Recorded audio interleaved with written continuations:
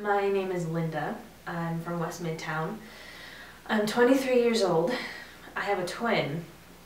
People say that we look alike, but they're lying, and I wish they would stop. What do you mean? Well, for one thing, we're fraternal. You Speed this up, I got a date later. He looks like mom, and I look like dad. I'm the good looking one. He's tall, and I'm short. Tall, dark, and handsome. He's dark, and I'm light. Did I mention my good looks? That's my brother. Tell me something that people may not know about you two.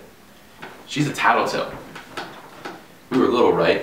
It was lunchtime, and we need to clean up our toys, like good little boys and girls. He was always getting me into trouble. I started putting their toys in the box, right?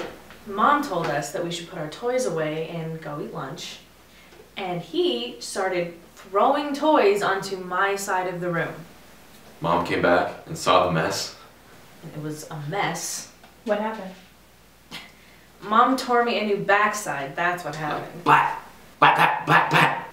I was framed. Yeah, it was pretty funny. And it gets worse. No matter where I am in the world, I can get on her nerves. Ready? Watch.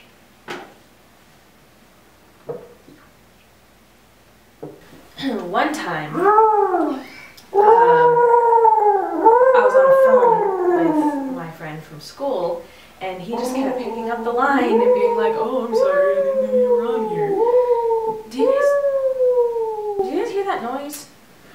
It's like a high, it's like a high pitched something. Can somebody find out what that is? I is? wish I could do it. It's really annoying. Wherever she is in the world, I know she felt that. I love my little sister.